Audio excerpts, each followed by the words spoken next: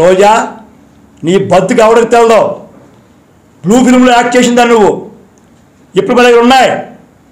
నీ బతుకు బయలు పెట్టకూడదని నీ బ్లూ ఫిల్మ్ మా దగ్గర ఉన్నా ఎప్పుడు మీరు రిలీజ్ చేయలేదు. నడుస్తున్నాను.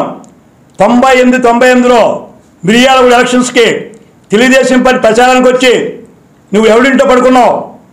నేను అక్కడే ఉన్నాను వేళ యాజ్ ఏ ప్లానింగ్ బోర్డ్ చైర్మన్గా. ఎందుకు వచ్చావు? అవి మా పార్టీ మనిషి కావు. అప్పుడు యాక్టరే. ఎవరితో వచ్చావు? చెప్పమంటావా? నువ్వు ఏ గెస్ట్ హౌస్లో ఉన్నావా రోజా? నీ బతుకు ఇప్పమంటావా? ఇప్పలేక కాదు.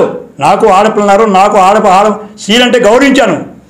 రికార్డ్ డ్యాన్స్ చేసుకునే నువ్వు బ్లూ ఫిల్మ్లో యాక్ట్ చేసే నువ్వు కిరాయికి వెళ్ళిందని నువ్వు నీ అదృష్టం బాగుండి వేళ మంత్రి అయిపోతే ఈవేళ ఇష్టాచారంగా ఎన్టీ రామారావు కుటుంబం మీద వాడు వీడు అది ఇది మాట్లాడతావా? నీ బతికేమిటి?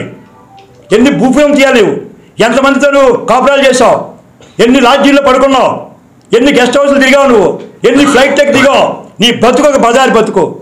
ఒక బజార్ మనిషివి ఒక బజార్ అయి నువ్వు. నువ్వేమో చంద్రబాబు నాయుడు గారి మీద ఎన్టీ రామారావు కుటుంబం మీద మాట్లాడతావా? జనం ఉమ్మేస్తారు నీ మీద రోజా. నీ అదృష్టం అని మంత్రి అయిపోయినావు.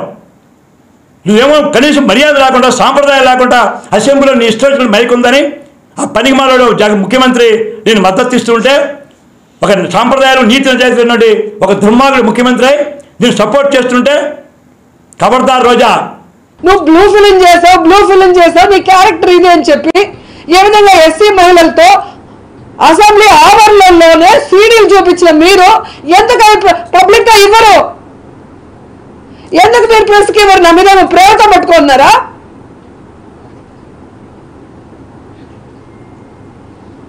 ఈరోజు సుప్రీంకోర్టులే ఆర్డర్ ఇచ్చినాయి.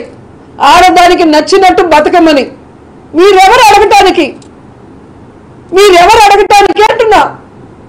ఈరోజు రాత్రి మగలు నా కుటుంబం కోసం కష్టపడుతూ తప్పు చేయకుండా ఎవరి ముందర చేయి చాచకుండా ప్రజల కోసం ప్రజలకి సర్వీస్ చేస్తూ మహిళల హక్కుల కోసం పోరాడుతూ మహిళా సాధికారత కోసం పోరాడుతూ దాదాపుగా ఇరవై సంవత్సరాలుగా రాజకీయాల్లో మహిళలందరితో సభాష్ అనిపించుకుంటూ వాళ్ళ ఆశీర్వాదంతో రెండు సార్లు మీరు ఓడించిన తెలుగుదేశం పార్టీ దాంట్లో నుంచి బయటకు వచ్చి ఈరోజు జగనన్న ఆశీస్సులతో రెండు సార్లు ఎమ్మెల్యే అయ్యాను.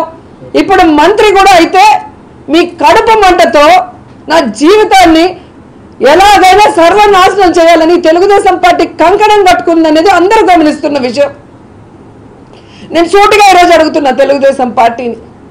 మీ పార్టీ కోసం మీ పార్టీ కోసం ప్రచారం చేసిన సినిమా ఆర్టిస్టులందరినీ కూడా ఇలాగే మాట్లాడతారా? రికార్డింగ్ డాన్సులు చేసుకునే వాళ్ళు బ్లూ ఫిల్మ్లో యాక్ట్ చేసే వాళ్ళు లాడ్జిల్లో పనుకునే వాళ్ళని? ఈరోజు మీ పార్టీలో ఎన్టీఆర్ గారు స్థాపించిన పార్టీ అనే జయసుధ గారైనా జయ జయప్రద గారైనా శారద గారైనా దివ్యవాణి అయినా కవిత అయినా ఎవరైనా కూడా వచ్చారు. కానీ మీరు చేస్తున్న అసహ్యమైన పనులు మహిళల్ని ఎంత చీపుగా ఒక ఆట వస్తువుగా చూసే మీ విధానం మహిళల్ని ఏ విధంగా ప్రచారానికి వాడుకొని ఆ తర్వాత వాళ్ళు రాజకీయంగా ఎదగాలంటే వాళ్ళని తొక్కేసే విధానం చూసి అందరూ బయటికి వెళ్ళిపోతున్నారు. ఎందుకు ఈరోజు ఒక్కరు కూడా మీ పార్టీలో మహిళలు లేకుండా వెళ్ళిపోతున్నారో ఒకసారి మీ మనస్సాక్షిని అడిగితే మీకే అర్థమవుతుంది.